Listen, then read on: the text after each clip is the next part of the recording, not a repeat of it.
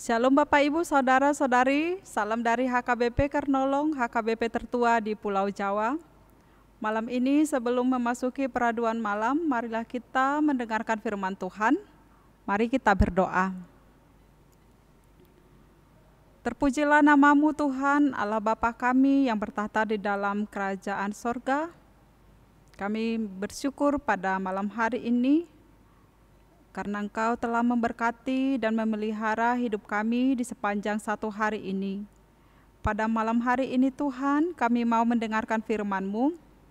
Oleh karena itu Tuhan curahkan roh kudus-Mu bagi kami, agar kami boleh paham dan mengerti akan kehendak firman Tuhan. Terima kasih Tuhan, terimalah doa kami. Amin.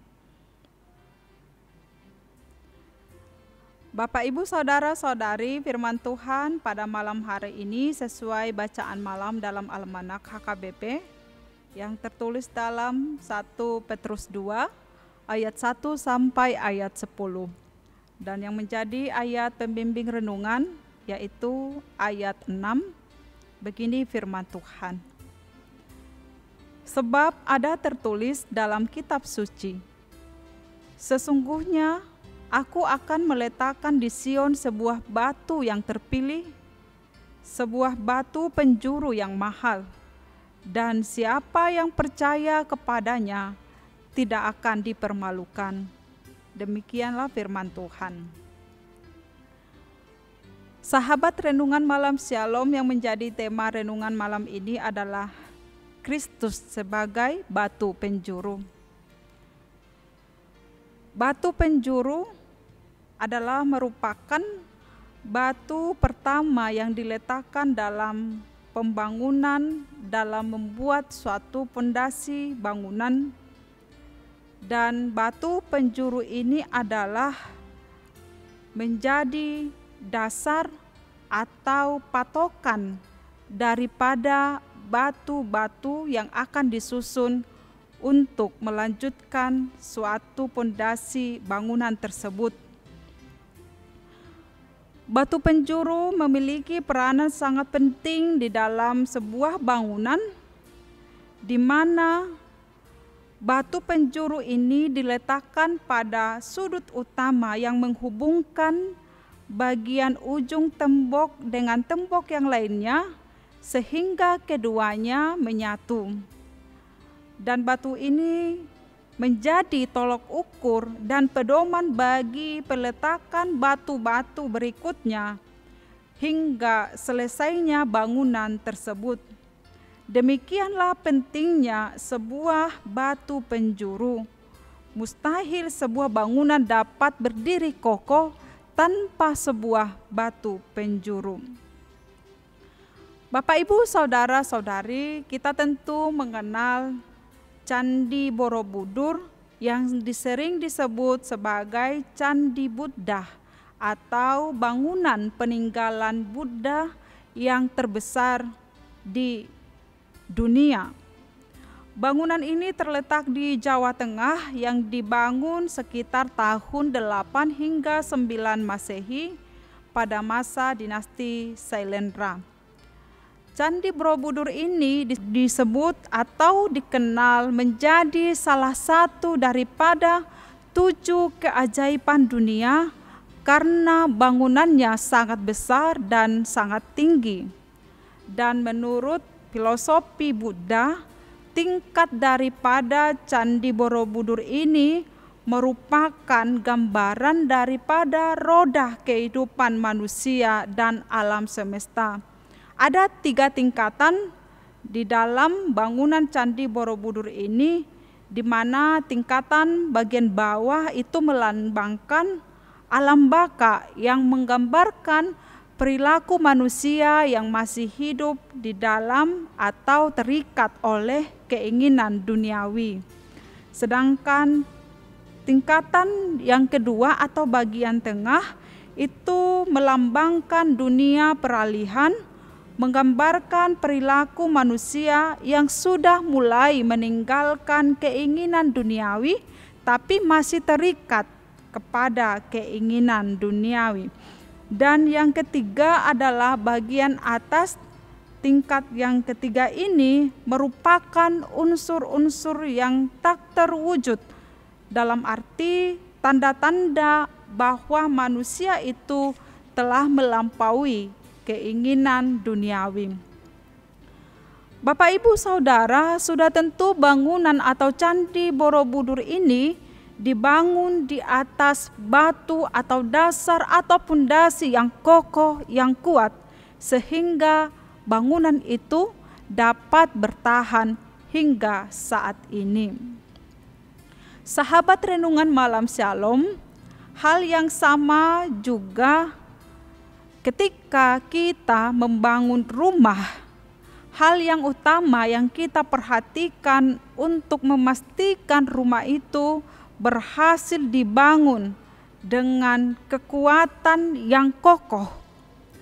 Tentu tidak terletak pada yang disebut dengan bagian-bagian daripada bangunan itu termasuk jendelanya, pintunya, atau atapnya. Kekuatan daripada bangunan sebuah rumah tidak terletak pada apa yang dikatakan tadi jendela, pintu atau atap, tetapi terletak pada pondasi atau dasar daripada bangunan tersebut. Mengapa pondasi sangat penting?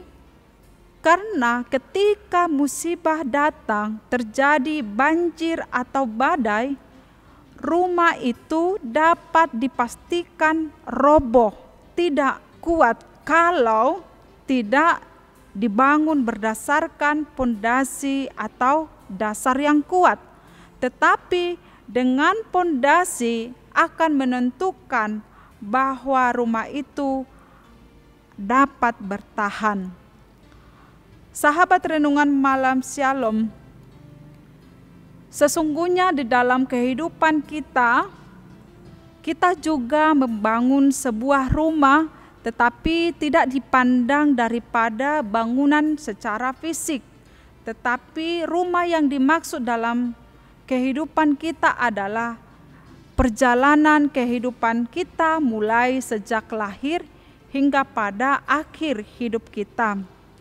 Sebagaimana batu penjuru menjadi tolok ukur sebuah bangunan, demikian juga hidup kita. Kita harus membangun kehidupan ini dengan berpedoman kepada dasar atau pondasi yang kuat atau dasar batu penjuru yang kuat, yaitu kepada Kristus. Kristus adalah pusat daripada aspek kehidupan kita. Kristus adalah dasar daripada kehidupan kita yang memegang kendali kehidupan kita mulai ketika kita lahir hingga pada akhir hayat hidup kita.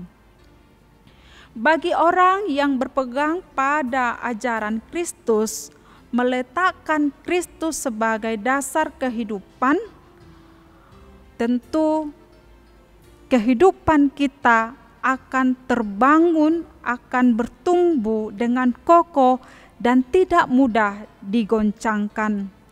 Tidak ada jaminan di dalam kehidupan kita, kita tidak menghadapi masalah, tidak menghadapi goncangan atau tantangan dalam hidup ini, tetapi kita diperhadapkan dengan masalah itu, dengan goncangan dan tantangan itu, dan kita memiliki jaminan, memiliki dasar yang kuat, yaitu akan penyertaan daripada Kristus, karena Kristus adalah dasar iman dan keselamatan kita.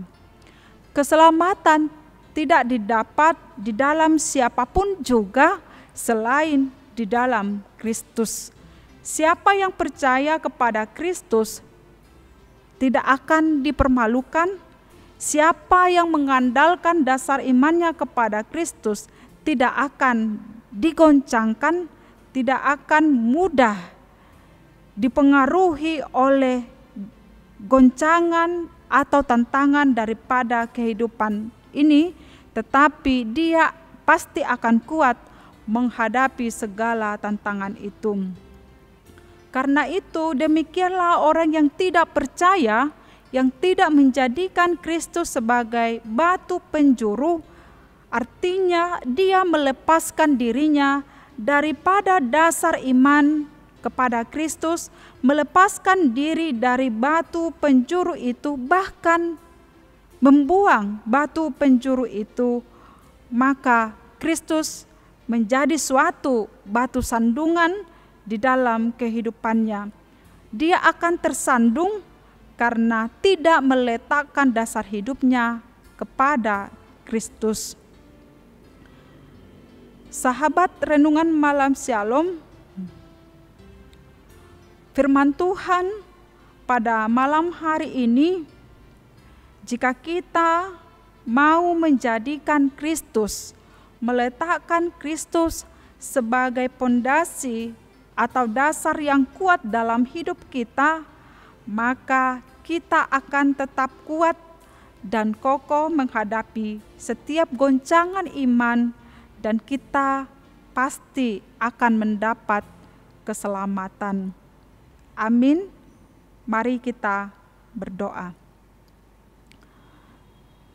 Terima kasih Tuhan Allah Bapa atas kebaikan-Mu Tuhan. Engkau berikan kami firman-Mu pada malam hari ini menjadi pedoman dalam hidup kami yang menuntun kami untuk menjalani kehidupan ini seturut dengan firman Tuhan. Ya Allah ya Tuhan kami, ajarlah kami dan berikan hikmat serta pengertian bagi kami agar kami dapat melakukan firman Tuhan yang seturut dengan kehendak-Mu. Kami serahkan hidup kami pada malam hari ini hanya ke dalam tangan pengasihan Tuhan. Kami percaya Tuhan senantiasa menyertai kami. Terima kasih Tuhan, terimalah doa kami. Amin. Anugerah dari Tuhan Yesus Kristus, kasih setia dari Allah Bapa, dan persekutuan Roh Kudus menyertai kita hari ini sampai selama-lamanya. Amin.